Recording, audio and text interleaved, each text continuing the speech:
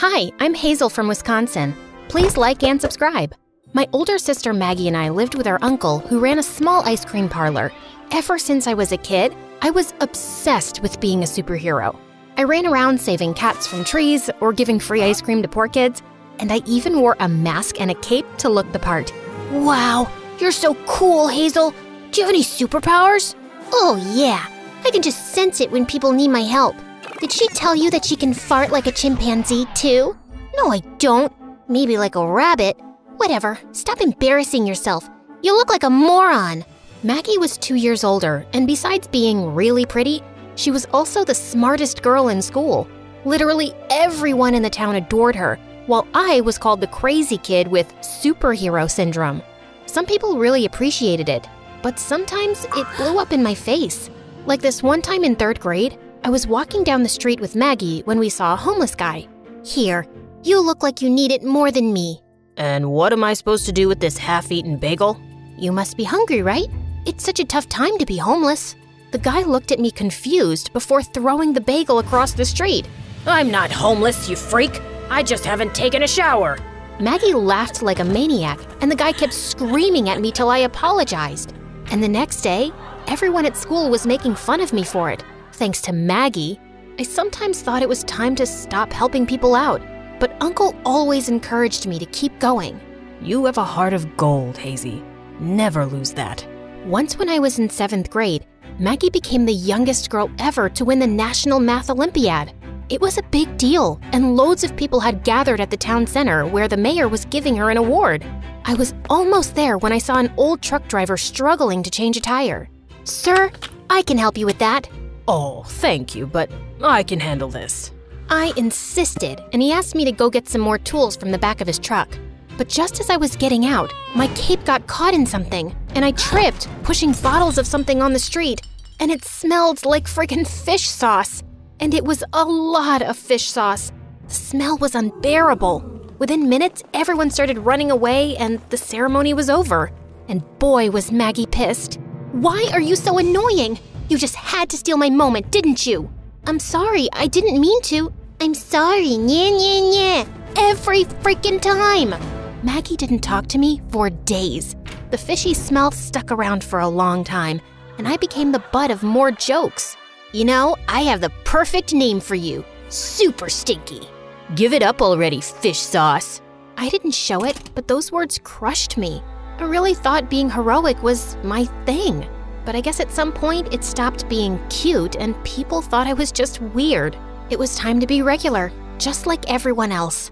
Years passed, and Maggie got busy with her college applications while Uncle tried to save his business. With so many ice cream parlors opening around town, he was facing stiff competition, which seemed to be stressing him out a lot. One time, my uncle got a huge order for a wedding reception, and he looked happy after such a long time.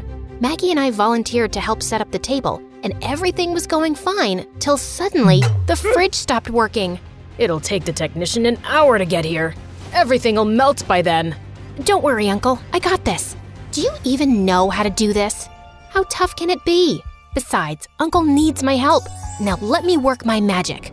I repaired the plug within minutes, but just as I put it back in the socket, there was a slight crackle sound before the whole place blacked out.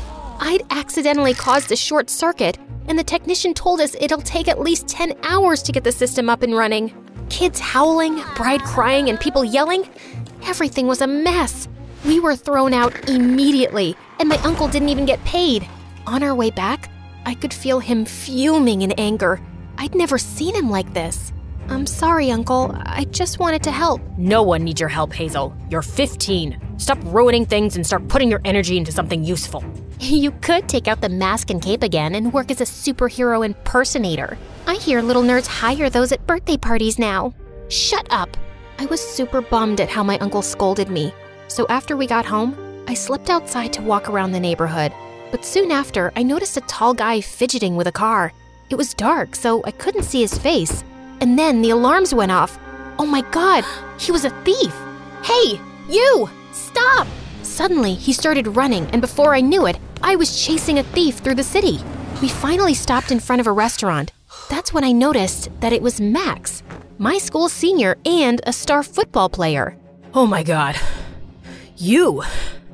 Why are you chasing me? Because you were running away. That's because I thought you were some crazy criminal. What? I'm half your size. Why would you think I'm a criminal? Then why were you running after me? Maybe because I thought you were stealing that car. Stealing? That's my car, idiot. And I locked the keys in. Yeah, right.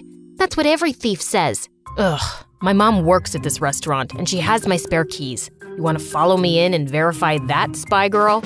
I did follow him in and got super embarrassed to find out he was telling the truth. I ran off feeling like a moron. I had to avoid Max forever now. But the next day at school, he pulled up a chair next to me. What happened to your mask and cape? Excuse me? Oh, that. Yeah, I stopped wearing it a while ago. People thought I looked crazy. Really? I thought it was cool. Apparently, Max was a big fan of comic books. After that day, he started talking to me a lot more, sitting next to me during lunch and walking home from school with me. He was a popular guy and got invited to tons of parties, but he never cared for any of that. He was just a regular guy doing his thing, and I like that about him. Maybe a little more than I thought. I want to be a comic book illustrator someday, but I don't know if it'll make me any money. I'm so confused. I get it. I just want to help people, but I don't know how yet either. I'll figure it out. Things were good, and finally, I had a friend who didn't think I was weird. And even my uncle looked happier recently. He'd found a rich investor who promised to take his ice cream brand international. He'd even come up with this amazing new ice cream recipe and was excited for us to try it. I was lactose intolerant, but Maggie gobbled up an entire tub. This is amazing, Uncle.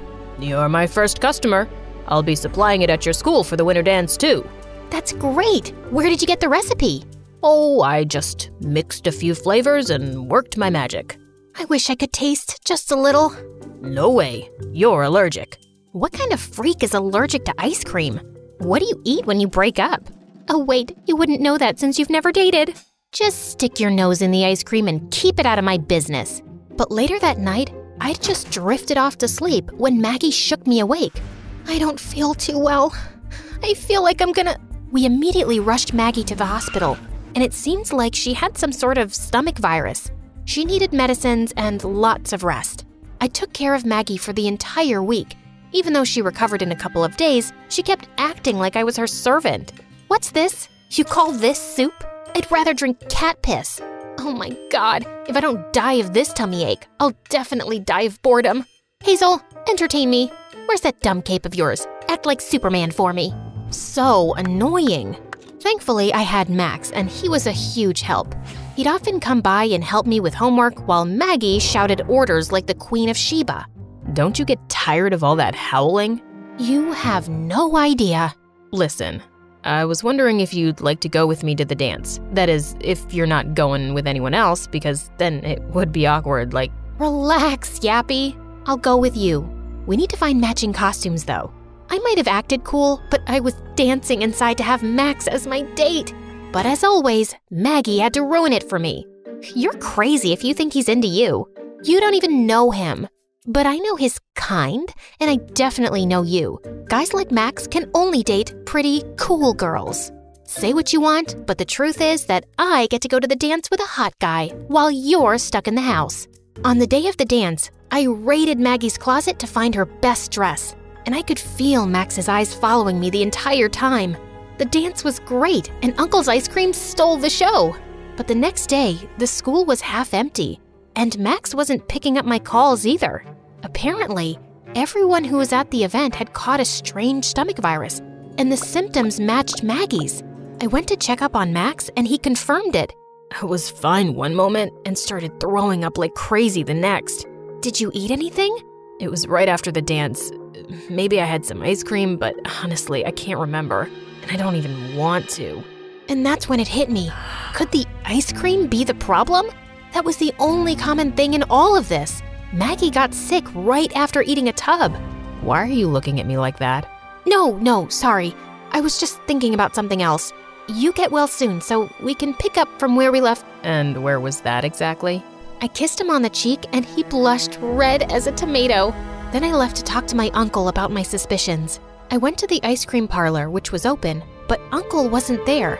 Just then, I heard voices coming from the basement. We need to call this batch back right now. So many kids got sick after eating it. Have you lost your mind? I'm the investor, and I say we go ahead. Calling this back and admitting our fault would destroy our reputation. We're not a little shop anymore. We're going big. Don't ruin it. And you still have to pay for your niece's college, no? Think about that. Uncle looked really stressed as the guy left, and as soon as he saw me, his face turned white. What are you doing here? Did you hear everything? Yes, I did. What kind of evil man are you working with? the business was suffering, and I needed the money. I knew he was a bit shady, but you girls are growing up, and I only wanted you to have a good life. I get that, Uncle, but you have to tell the truth, even if it means shutting down the shop and losing the money. We'll be just fine. And when we told everything to Maggie, she totally backed me up for a change. Uncle decided to make a public announcement by calling an emergency town meeting. As he began talking, I could see people getting angry. Our kids are suffering because of your stupid ice cream. You should rot in jail. Hey, let the man talk. Yeah, he made a mistake, but now he's here and he's owning up to it, which isn't an easy thing to do. You're angry, and we get it, but he deserves to be heard. Uncle beamed at me and continued with his apology. He publicly admitted everything about the bad batches and how he'd called them all back. The investor had vanished into thin air, so Uncle had to pay heavy fines all by himself, and his shop was sealed by the food authorities. I'm sorry about the shop, Uncle, but we did the right thing. You always do the right thing, Hazel, and I'm lucky to have you. You're my hero. A year later, after all charges were cleared, Uncle's business license was returned and we started rebuilding the brand. Max and I were dating, and Maggie bagged a scholarship to an Ivy League college. So, you know what you're gonna do next? Yeah, I guess I'll be a politician and help people from a position of power. You sure can talk all day. So, yeah, suits you. Just drop the cape and the mask. What are you saying? That's my statement symbol.